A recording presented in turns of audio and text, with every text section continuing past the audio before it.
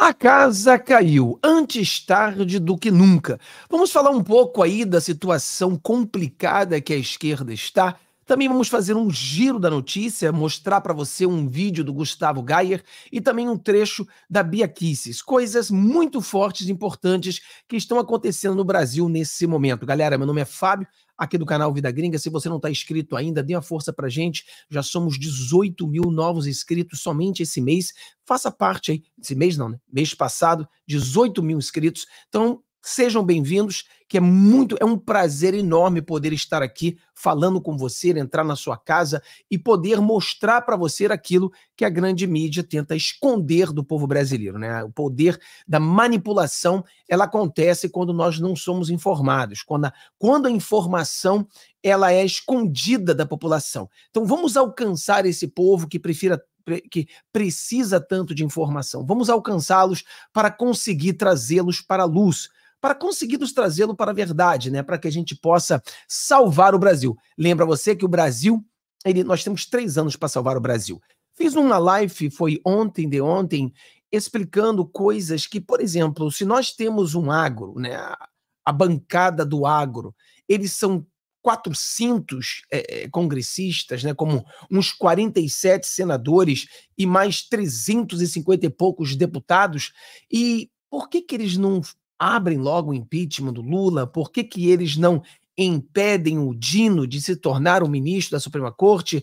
E são essas coisas que nos deixam é, assim com uma pulga atrás da orelha, que nos preocupam às vezes, porque nós temos suficiente para salvar o Brasil, mas ficam de muitas falas e pouca ação. Então isso não acontece. Mas vamos falar hoje sobre alguns outros assuntos. Primeiramente, vamos começar com o a questão, um vídeo aqui do Gustavo Gaia, que ele fala sobre o Danone estragado. Lembrando a você, galera, se você não é inscrito ainda, inscreva-se, joga e dá o seu joinha, compartilhe com seus amigos. E vamos lá ver o que, que o Gustavo Gaia está falando aqui sobre o, o, Danone estragado. Vamos lá ver agora. Olha só esse vídeo aqui. Peraí. Danones, que foi o carro-chefe na campanha digital do PT, do Fazueli, do Lula ele foi o maior divulgador das fake news contra Bolsonaro e defendendo Lula das verdades que eram divulgadas nas redes sociais. Inclusive, ele fez todo um gabinete do ódio e escreveu um livro sobre isso. Os áudios saíram. Que ele agride seus colaboradores, né? Agrediu em vários momentos, vergonhosamente, os seus assessores, tra os tratando como animais, como cachorros, pior do que animais. Depois, as denúncias dos seus assessores dizendo que ele fazia rachadinha, e depois o áudio dele mesmo falando que achava certo que deveria cobrar uma parte do salário de seus assessores. Só que aí ele deu. Lembrando, pessoal, que esse é o Janones que fez a vida criticar outras pessoas que supostamente faziam rachadinhas, né? É aquele típico fala do esquerdista. É acuse-os do que ele é. Né? Então, eles são isso e ele acusa vocês de serem o que ele é. E mais ou menos isso. As entrevistas tentando, tentando se justificar. E quando foi perguntado se esse dinheiro que os assessores dele deram no período da campanha foi contabilizado como doação eleitoral. Bom, não foi. Estranho isso. Caixa 2. Então é outro crime que ele está ele tá admitindo. E aí, meus amigos, agora ele, ele inventou a história de que quando ele teve aquela conversa e quando aquele áudio foi gravado, ele ainda não era deputado. Então toda a defesa dele se baseava no fato de que ele havia que ele não havia assumido ainda, por isso não poderia ser caçado, já que o crime teria cometido, teria sido pensado antes de assumir o cargo de deputado. Porém, surge um novo vídeo. E nesse novo vídeo a situação dele fica assim, indefensável. Janones contradiz Janones sobre rachadinha. Ele disse que não era deputado. O, o Danones contradiz o Danones sobre a rachadinha. É muito interessante quando a gente vê a esquerda se contradizendo, que a gente vê todo dia, né?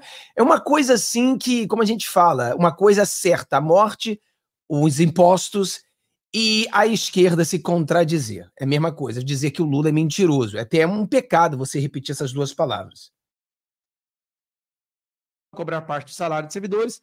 Novo áudio, no entanto, revelou que ele iria participar de sessão após a reunião com os membros do seu gabinete.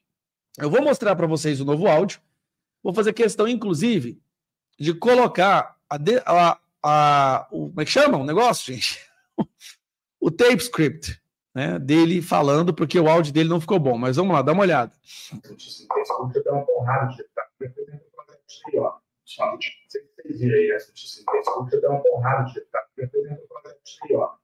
tinha uma fila de 100 deputados apresentando o projeto de lei. Eu sequer sabia disso. Por que eu não sabia?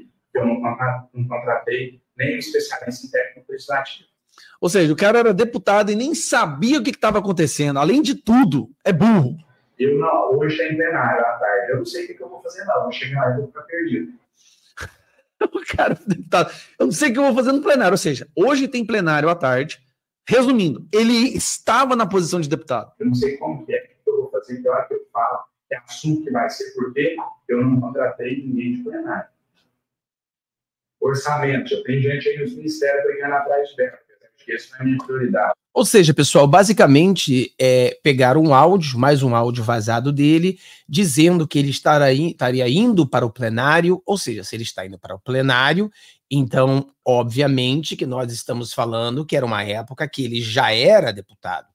Então, toda a defesa dele foi o seguinte: ele não conseguiu dizer que ele não fez nada de errado. Então, a defesa foi: eu fiz tudo isso de errado, mas eu não era ainda deputado. Sendo assim, eu não posso ser acusado de um crime é, antes de eu ser deputado que pudesse é, me punir com o meu, o, o caçar-me nesse aspecto, né? Porque a política é assim: se você é, fez alguma coisa antes de ser deputado, depois, quando você era deputado, muitas das vezes você é supostamente protegido. Vamos lá. Só estou citando que existe um profissional. E aqui está ele falando que na, na época dos vídeos, na época dos áudios, como você pode ver, eu vou aumentar aqui um pouquinho, ó, ele tentando falar que na época dos áudios ele ainda não havia assumido como deputado. Deixa eu melhorar aqui para vocês poderem ver. Aí.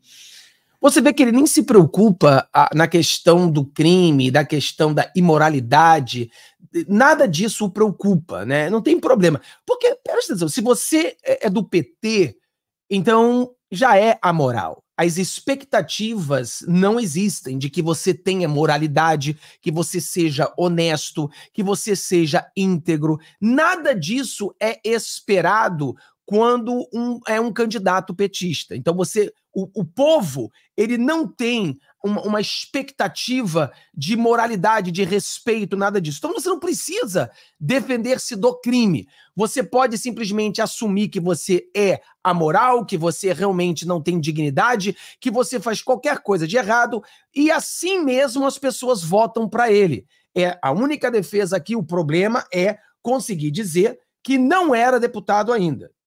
Mais áudios sendo divulgados com eles, a história real vindo à tona. A história, eu, quando ainda não era deputado, disse para algumas pessoas que eles ganhariam um salário maior do que os outros porque tivessem condições de arcar com as dívidas assumidas por eles durante a eleição de 2016. Afinal, resumindo, galera, assim, é indefensável. A situação do Janones é a, o caso de rachadinha com o maior número de evidências, provas irrefutáveis na história da democracia brasileira. Acho que nenhuma outra situação havia tantos casos de rachadinha.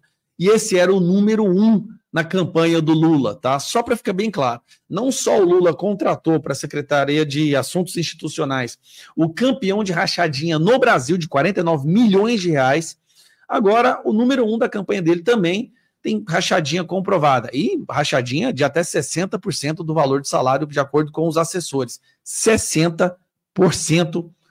Claramente, pessoal, que isso aí nó, é, terá de ser né, julgado. Nós, diferente deles, nós acreditamos que todas as pessoas são inocentes até que sejam é, julgados e condenados. Se a pessoa ainda não é condenada, ele é inocente. Somente o, os brasileiros que foram ali no dia 8 são condenados sem nenhum tipo de condenação, né? Quer dizer, eles já são culpados antes de serem condenados, antes de serem até mesmo julgados. E isso é preocupante. Eu vi agora, e de repente a gente pode até falar disso amanhã, de manhã às seis da manhã, sobre mais um que pode falecer na cadeia por descuidos, né? maus tratos, por falta de compreensão de pessoas que estão presas sem o devido processo legal. Então, mais problemas. Mas nós não somos assim. Nós acreditamos que todos são inocentes. O cara, por mesmo Janones, com todos os áudios, com todos os, os vídeos, com todas as falas, ele tem que ser julgado. E se for condenado, aí ele passa a ser alguém que cometeu o crime, né? Assim que nós acreditamos. E assim que tem que ser. Nós, por exemplo, eu vi essa ontem, aonde o Alexandre de Moraes, ele bloqueia a, a conta da filha do Eustáquio. Eu, particularmente, não sou uma pessoa que compactuo com as ideias do Eustáquio. Eu não. Eu acho que eu nunca usei um vídeo dele aqui no nosso canal, nunca conversei com ele e sou contra muitas das ideias dele. Mas mesmo assim, não pode você simplesmente bloquear os bens de uma filha. A filha não pode pagar pelos crimes do pai. É uma coisa absurda. Não é, por exemplo, que o pai está fazendo dinheiro através do canal da filha. Não. A filha está fazendo dinheiro com o canal dela. Então, isso é o dinheiro dela, isso são bens dela. Você não pode punir a ela pelo pai que ela tem. Então, cadê o pessoal aí? É aquela coisa que eu falo para vocês sobre a questão da esquerda, que rouba nossas pautas e dizem trabalhar por elas. Cadê o pessoal aí dos direitos humanos? Cadê o pessoal, os defensores das mulheres? Então, a filha do Eustáquio, por ter um posicionamento diferente da esquerda, não pode ser protegida pelas mulheres? Imagina você uma mulher de esquerda ter os seus bens tirados dela, bloqueados por um juiz da Suprema Corte por crimes que supostamente o pai dela cometeu. Você imagina a, o bafafá que estaria hoje no Brasil. Mas essas mulheres que se dizem defensora das mulheres, elas não defendem mulheres. Elas defendem mulheres que pensam como elas pensam. Então, essa é a grande diferença da esquerda e da direita. Nós temos princípios e defendemos os nossos princípios. Como eu falei, o Janones, ele não pode ser considerado um criminoso até que seja julgado e culpado. A filha do Eustáquio não pode ter suas contas bloqueadas porque o pai dela tem algum problema, uma rincha com Alexandre de Moraes. Isso não pode ser uma vingança para ele alcançar toda a família como se fosse uma máfia, né? Não podemos ter a justiça funcionando dessa forma. Então, isso é uma coisa ridícula que nós temos que mudar isso no nosso Brasil. Olha o que, que a, a, a Bia Kisses falou aqui. Falando que as ações de Israel em defesa. Vem falar aqui sobre. A vergonha do Lula. absurdos. Absurdos. Que o Lula uh, tem é, protagonizado não só agora dentro do Brasil, mas fora do Brasil, na COP, por onde ele vai, né? Sempre uma palavra para falar mal do Brasil, atacar o ex-presidente Bolsonaro, nada de construtivo. Nós assistimos o que ele falou na TV Al Jazeera, na entrevista, falando que as ações de Israel em defesa do seu povo contra os ataques terroristas são ainda piores do que o ataque terrorista. Quer dizer que isso é tão absurdo que um grupo de parlamentares, liderados aí pela deputada Carla, fizemos uma carta ao primeiro-ministro de Israel, que o Lula chamou de extremista, nos desculpando pelas insanidades desse homem que hoje dirige a nação. Nós não concordamos com isso, isso é um absurdo. E verdadeiramente, pessoas que apoiam o Hamas, que apoiam o terrorismo, essas pessoas não merecem, não merecem de forma alguma ocupar cargos públicos, não podem dirigir uma nação, porque elas são um perigo para todo o povo brasileiro. Exatamente, né? É, é o ridículo ao cúmulo o Lula falando suas besteiras mais uma vez. Chama o primeiro-ministro de extremista, mas ele abraça a liderança do Hamas como grupos de resistência. Chama o primeiro-ministro de Israel de extremista e abraça o líder do Irã, abraça o, o traficante de drogas da Venezuela, abraça o ditador na Nicarágua. E ele vai abraçando os, os ditadores, mas diz que esse. Por exemplo, a esquerda brasileira chamou o Milley de neonazista. O Milley, essa semana, vai se reunir com o primeiro-ministro de Israel, para você ver o absurdo que é a, a esquerda brasileira. Eu cheguei à conclusão de que o pessoal da esquerda brasileira realmente eles estão perdidos, completamente perdidos e não sabem absolutamente nada do que eles falam. São pessoas teleguiadas, são massa de manobras que simplesmente eles não entendem absolutamente nada. Eles chamam judeus de nazistas. É, é o nível que nós estamos vivendo. O cara que está defendendo Israel é o nazista e o cara que está defendendo Hamas é o democrata na cabeça deles. É uma coisa assim que você para e fala: meu Deus do céu, ao menos tente ter coerência. Ao menos. Então, vocês podem ser esquerdistas, vocês podem acreditar no Papai Noel, mas, cara, tenha coerência, tenta trazer uma coerência para o seu debate. Porque fica uma coisa assim ridícula o que nós estamos vendo. Aí, né, eu não podia deixar isso aqui para trás. Olha só essa aqui. Essa aqui também é interessante. Olha só. Há pouco tempo atrás, um cidadão que governava o nosso país passou. Galera, o Lula imitando o Bolsonaro. Agora ele está fazendo as lives dele, mas ele está fazendo com uma porrada de ministros. Ou seja, ele levou uma cambada de ministro com o nosso dinheiro, obviamente, pagando o pagando passagem para todo mundo, pagando hotel para todo mundo. Ou seja, o cara começou a gastar e gastar e gastar, literalmente cagando pro povo brasileiro, levou um montão de ministro com ele. Cara, eu fico pensando quando eu vejo os presidentes dos Estados Unidos viajando. Eu não vejo os presidentes levar essa porrada de ministros juntos. Dizer, só no Brasil você vê isso. E agora, né? Porque com o Bolsonaro você não via. O Bolsonaro levava três ministros, levava três pessoas no total, nem levava a esposa, a esposa ficava em casa trabalhando no Brasil, salvando o Brasil, melhorando o Brasil, e ele ia sozinho, comia pizza na rua, e assim mesmo era criticado por gastar. Entendeu? Gastava numa pizza. Já o Lula leva a, a, a canja junto com ele para hotéis de 60 mil a diária, leva uma porrada de ministros, eu gostaria de saber se as esposas, os ministros também vão. Leva uma equipe. O cara, olha a equipe que faz as lives do Lula. É uma equipe profissional, com câmeras profissionais, com microfones profissionais, com tudo profissional. Você pode olhar a edição, o trabalho, a luz, a câmera. Isso aqui são trabalhos profissionais que deve custar uma fortuna dos nossos, dos nossos impostos. Bolsonaro fazia uma live no celular ali mesmo com eles. E o Bolsonaro fazia live, às vezes, com um ministro. Era assim.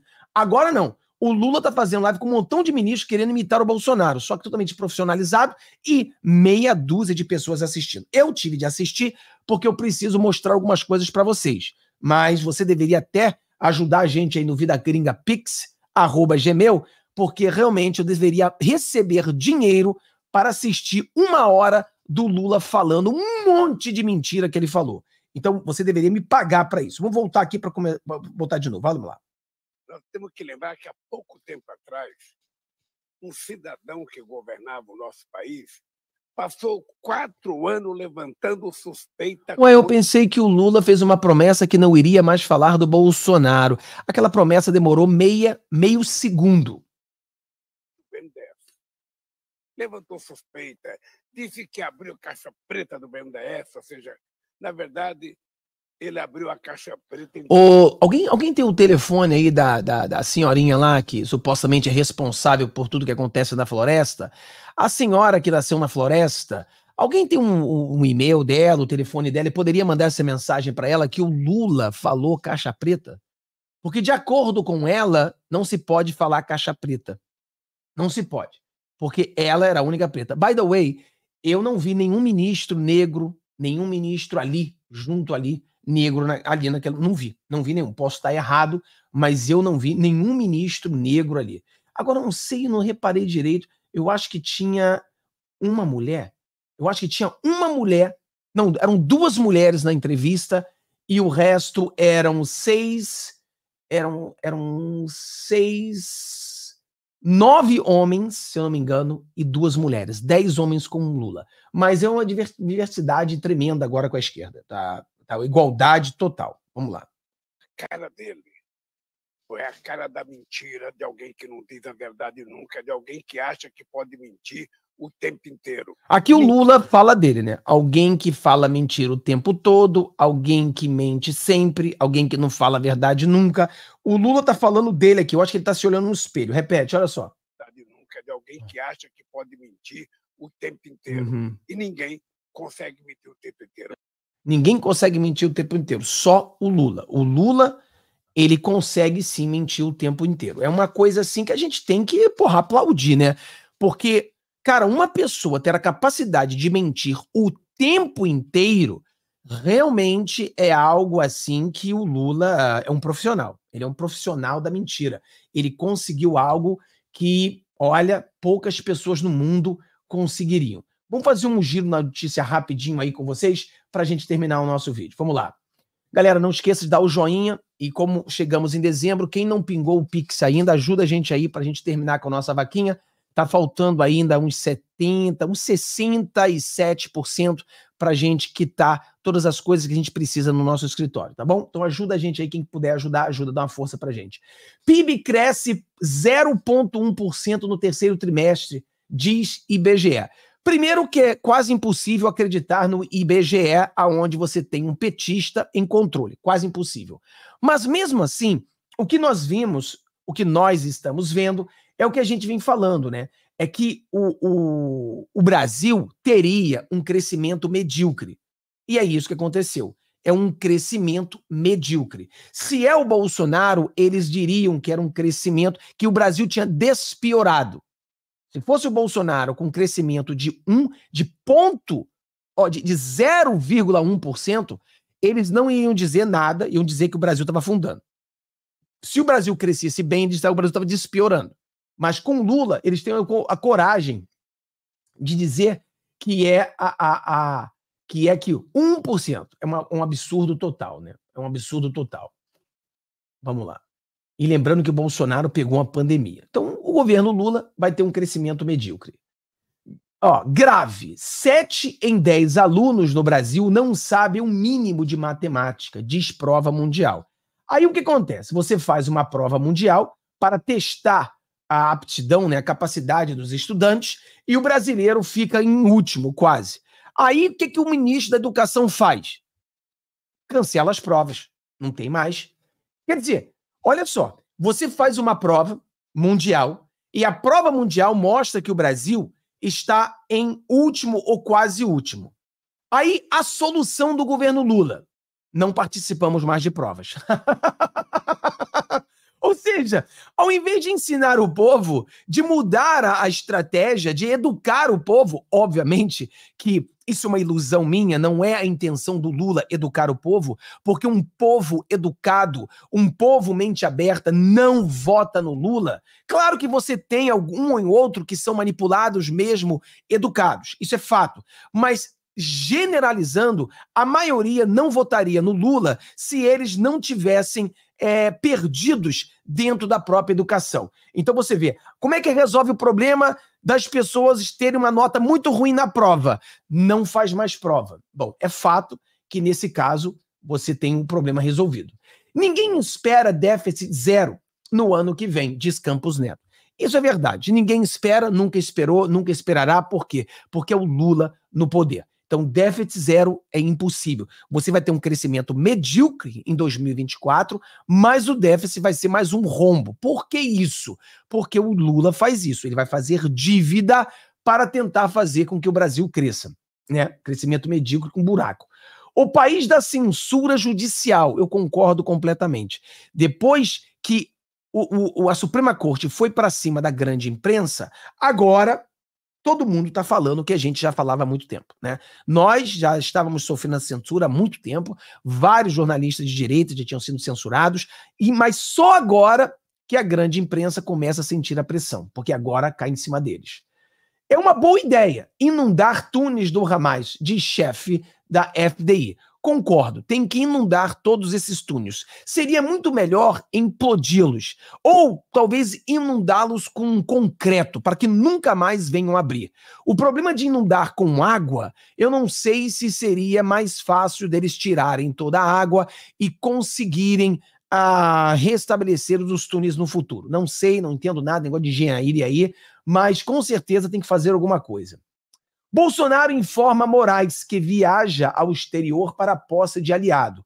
Bom, nós sabemos que a esquerdalha começa com as teorias conspiratórias de que Bolsonaro vai fugir para a Argentina, que Bolsonaro vai fugir para a Lua, que Bolsonaro vai fugir para tudo quanto é lugar, porque Bolsonaro não quer ser preso, etc e tal. Então é claro que o papel do presidente Bolsonaro é avisar o dono do Brasil, né, quem manda no Brasil, que ele vai para a Argentina. É o absurdo que nós vivemos hoje, aonde um presidente ou um ex-presidente, para viajar para um outro país, ele tem que avisar o Alexandre de Moraes. É o absurdo dos absurdos. Para 2024, Lula promete visitar o Brasil, entre aspas, né? Para encontrar prefeitos e governadores. Finalmente o Lula vai visitar o Brasil. Será quando que o Lula chega do Brasil? Porque nós passamos um ano com o Lula fazendo visitas com sua esposa. Ele passou o mundo todo com a esposa deslumbrada, vigiando o mundo, visitando o mundo, gastando nosso dinheiro. Gastar dinheiro dos outros deve ser a coisa a melhor coisa do mundo, né? Eu nunca tive a oportunidade de gastar dinheiro dos outros. Então não sei exatamente como que é, mas deve ser bom demais. O STF é o novo regime político, a República Judiciária do Brasil. Cara, o Mário Sabino aqui, ele matou na mosca, né? Realmente ele fala sobre essa questão aonde o Brasil virou isso aí, o novo regime político. E agora, com a entrada do Flávio Dino, que nós iremos falar no finalzinho sobre o Flávio Dino, Pior ainda, né? Que você tem aí mais e mais política dentro do judiciário. Brasil dá outro vexame em prova internacional. Pior que tá, não fica. Então, como pior que tá, não fica, você resolve o problema. Qual o problema? Você acaba com a prova. Se você não tem prova, você nunca mais vai ser o último. Resolveu, entendeu? É assim que a esquerda resolve o problema. No, no governo Lula, a faixa da miséria, ele aumentou 3, 3 reais para que o miserável ganhasse três reais a mais. Então ele passou da faixa da miséria, deixou na cabeça do, da esquerda, deixou de ser miserável, porque ganhou três reais a mais. Governo proíbe rifle semiautomático para defesa pessoal. Aqui nos Estados Unidos, você sabe que o rifle semiautomático é legalizado nos Estados Unidos inteiro, se eu não me engano, pode ser, eu acho que no estado inteiro. Já armas totalmente fuzis automáticos não são. Apesar que a palavra fuzil ela é muito mal interpretada, né? Porque, na verdade, eles querem chamar tudo de fuzil para poder banir tudo. Fuzil é uma arma usada pelo exército mesmo em guerra, né? E o rifle já não. Então, nos Estados Unidos, você, na verdade, não tem nenhum fuzil, não tem nenhuma arma automática. O que você tem são armas semiautomáticas, tá? Basicamente isso. Mas você pode ter em sua casa, por exemplo, uma R-15 sem problema nenhum, dependendo do estado, tem algumas é, requisições, mais requerimentos, né? mas é, difere com estado a estado. Milley é convidado por Netanyahu para visitar Israel. Então, o presidente eleito da Argentina, que foi chamado pela esquerda brasileira de neonazista, vai visitar o primeiro-ministro judeu. É aquela coisa onde a esquerda tem que meter a cabeça debaixo da terra e fazer igual avestruz para não passar mais vergonha. Basicamente é isso. PIB do Brasil fica abaixo de países emergentes no terceiro trimestre. Ou seja, quando você compara o Brasil com países emergentes, o Brasil está pior que eles. E é isso que a gente tem que fazer às vezes. Por exemplo, quando o Brasil estava passando por pandemia, com dificuldade e tudo, nós comparávamos com os outros países emergentes e o Brasil está melhor que eles. Claro que nós não podemos comparar o Brasil durante uma pandemia com o governo Dilma ou o governo Lula, que não tinham pandemias. É muito complicado. Mas nós podíamos comparar com os países emergentes. E o Brasil cresceu mais que eles. O Brasil, pela primeira vez, conseguiu crescer mais do que a, a China. Então, isso foi uma coisa sensacional no governo Bolsonaro.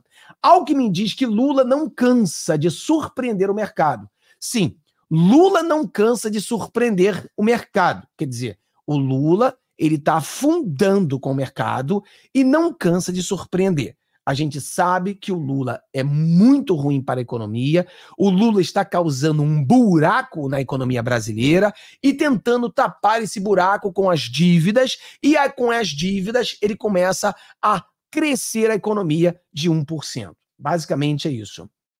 Bolsonaro virou sua cara ao abrir. Ah, Bolsonaro viu sua cara ao abrir caixa preta diz Lula. Caixa preta. O Lula fala da caixa preta. Cadê a Marina? Olha aí, pessoal. Lula entrevista nove ministros em possível última live semanal. Cara, não tinha ninguém assistindo a live. Eu dei uma assistida na live, porque eu preciso passar para vocês, mas não tinha ninguém. Não consegui assistir a live toda. Era um bando de puxa-saco.